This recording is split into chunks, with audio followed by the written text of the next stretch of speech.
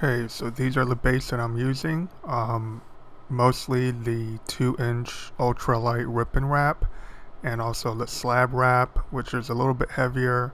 I'll leave the link um, in the description below. This is the hardware.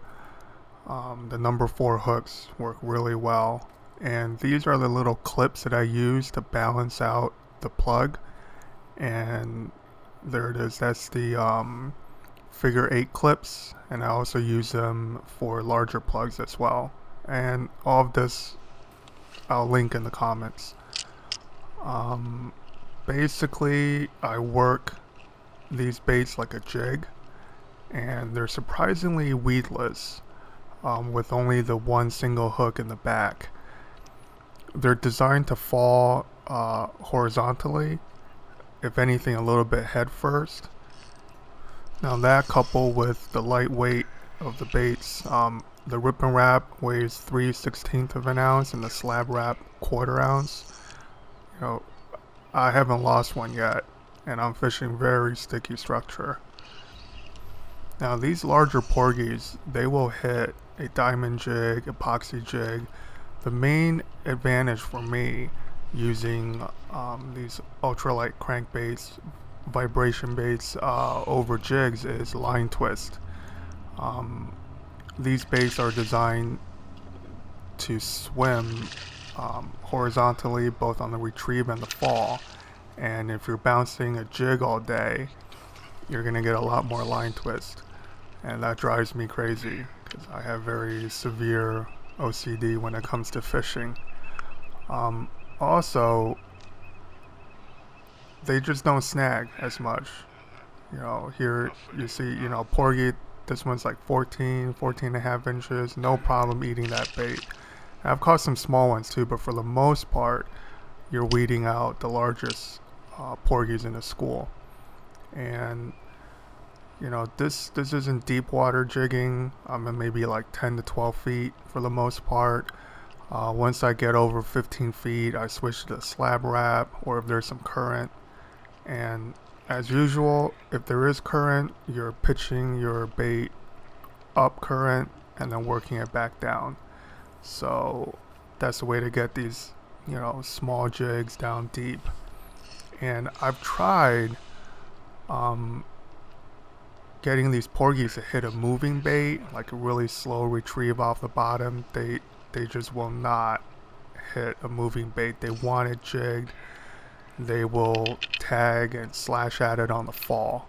So, you know, it's, it's, it's exactly the same as jigging with a jig head and gulp. Um, you know, it's a lot of line watching and having very sharp hooks. Uh, these these hooks come very sharp out of the pack, and you know, the sharper your hook, the more time you have to set the hook. Because when they do slash at it, um, if any part of that hook point gets caught in the lip and the skin, uh, that just buys you a little bit of time to set the hook. These fish, they definitely won't eat the crankbait, um, even less so than gulp or soft plastics. So, you know, if, if you don't set the hook in a timely fashion, you're just not going to catch these fish. Um, it's, it's just a very clean kind of fishing. You know, if I can reduce all my fishing, fluking, striped bass, whatever, down to hard body baits, I would. And believe me, I've tried with fluke. It's probably not the best season to experiment with fluke, but I've wasted a few trips uh, using nothing but blade baits and vibration baits uh, with not much to show for it. But maybe next year.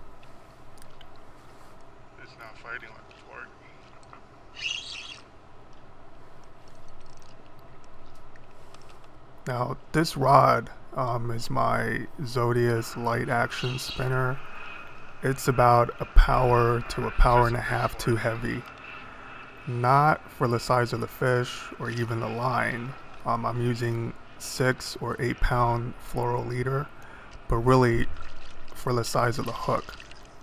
Uh, this number four owner single hook is very small and a lot of these fish are barely lip hooked. They're they're just skin hooked.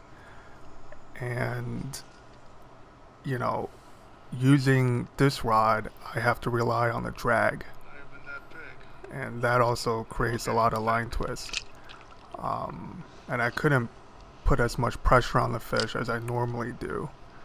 So later on you'll see me switch rods to a really light kind of noodle trout rod and that works out much better. I can fish on a tighter drag and ironically put more pressure on the fish.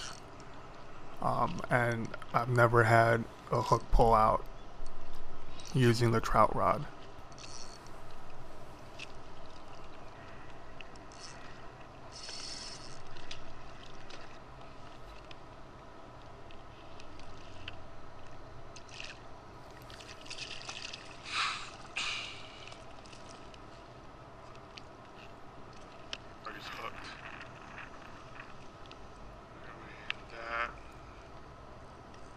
Yeah, right there you see how lightly that fish is hooked.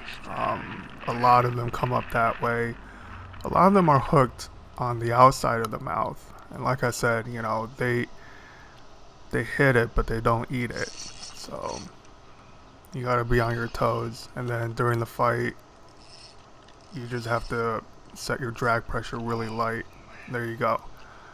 Um, here's a little montage of the fish that I've missed or failed to land. And I really blame the action of the rod.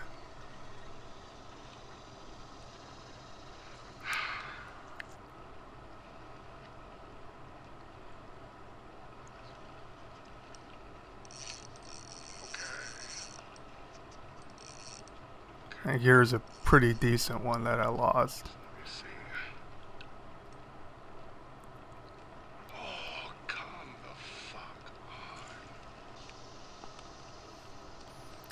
Okay, and as you would expect, using any kind of artificial bait, you'll catch different species. Um, for porgy, this is a pretty big bait, and I really think that the larger porgy, you know, over 14, 15 inches, occasionally they will chase down bait fish.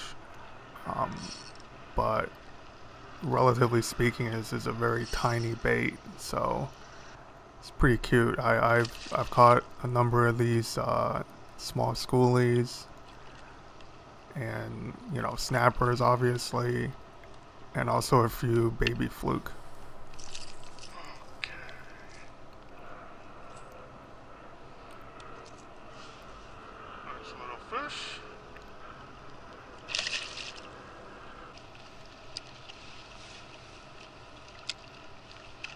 This is the first time I'm using light rod. And I'll leave um, links to where you can buy this stuff down down below.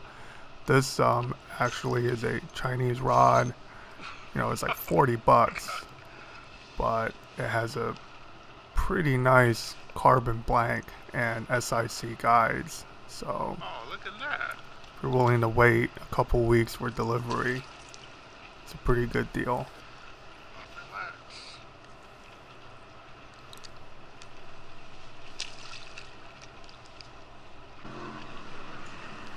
Okay, so now I switch completely over to this rod. Um, the reel is a 500 size Shimano Symetre and I'm using 6 pound braid and 6 pound leader uh, connected with FG knot and a little owner snap to the crankbait.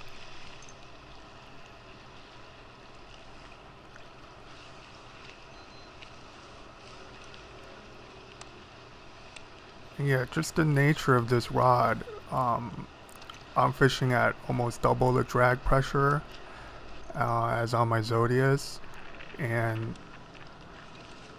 you know, the rod is so soft that it's going to cushion all those head shakes. And really keep them pinned no matter how they're hooked.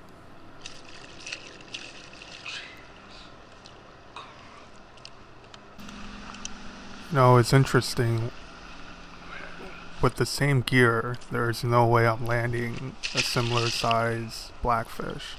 These porgies, they're just, they don't fight very smart. They kind of just spaz out and they don't really dig into the rocks. They don't break you off. So you can use really light line. Um, the reason I use six or eight pound leader is just to get the bait down deeper.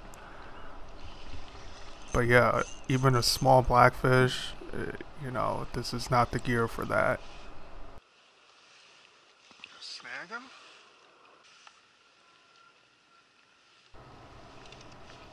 This fish fought a little weird and you know, turned out to be pretty gruesome. Got it right in the eyeball. That fucking sucks. I thought about keeping it, but I really wasn't keeping fish at this point. And okay. I, I think he'll be fine. I hope. Oh god. Oh god. Good luck. So here I'm using the Slab Rap. Um, there's actually quite a bit of current sweeping around this point. And, you know, it's a difference of, I think, two grams. But the shape and, you know, we're using this light tackle. Um, two grams is quite a big difference. And you can really get it down deeper.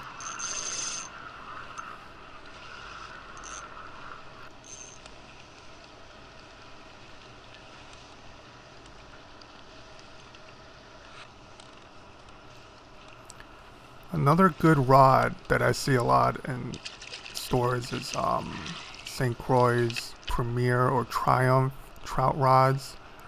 Uh, they're very slow action, and I think they're relatively cheap.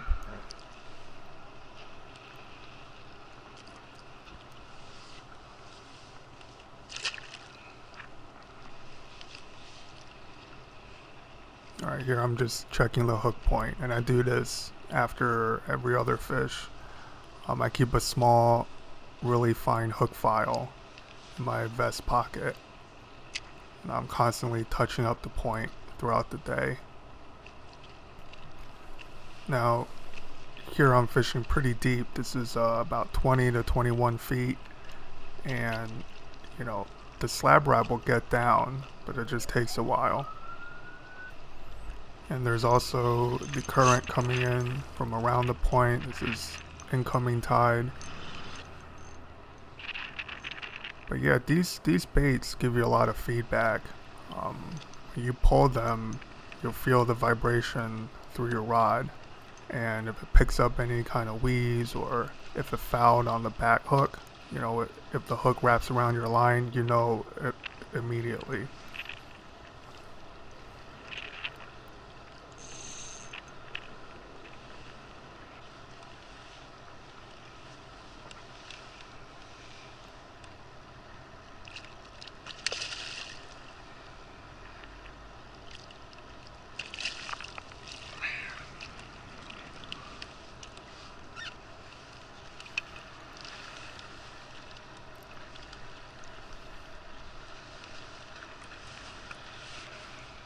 There's Porgy right there.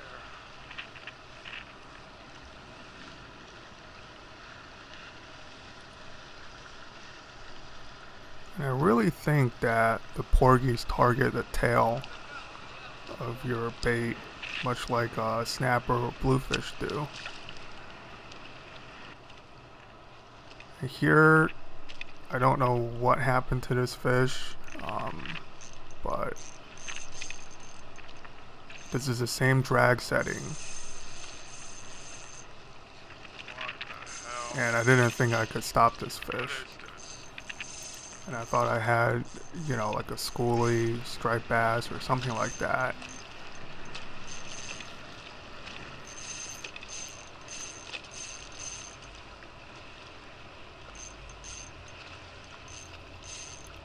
Is this a Porgy?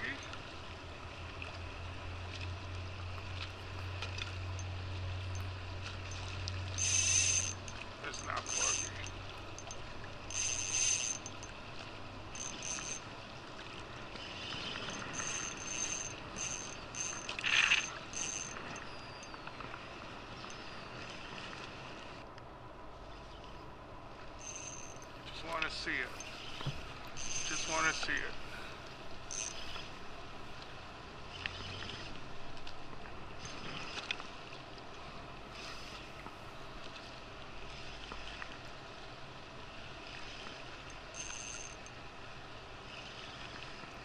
So yeah, this um, it, it, turned out to be a porgy.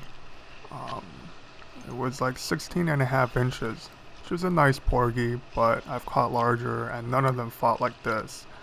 I can only imagine that, you know, this guy lives right on the point.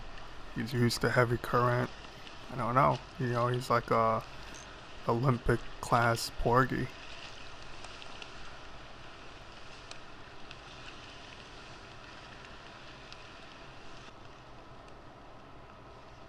No way.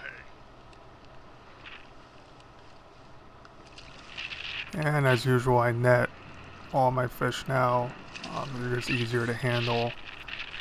Trying to keep it on that car mat so it doesn't poke any more holes in my boat. Yeah, it's uh, it's a really fun way to fish, and with fluking being the way it was this year, you know, I I, I spent a lot of time porgy fishing. This guy would be okay. Alright, I hope you enjoy and guaranteed last porgy video of the year. Alright, if you like what you see, please subscribe.